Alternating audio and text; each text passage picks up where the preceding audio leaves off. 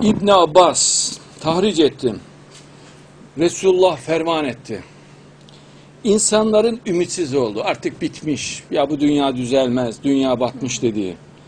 Artık yapacak bir şey yok dediği ve hiç Mehdi falan yokmuş dediği bir sırada Allah Moşiyah Mehdi'yi gönderir diyor. İnşallah. İnşallah. Tevrat'ta da aynı şekilde geçiyor. Aynı ifade. Onun yardımcıları Şam ehlinden de gelir diyor. Şam'dan. Evet.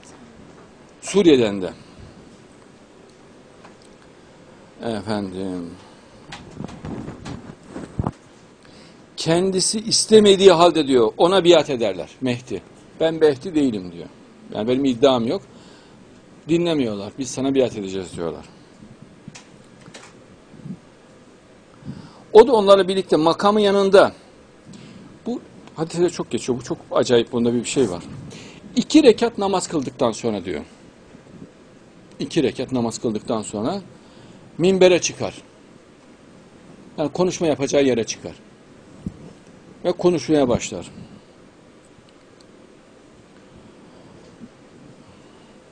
Mehdi diyor ki, ey insanlar, ümmeti Muhammed ve bilhassa onun ehli beyti çok belalar gördü.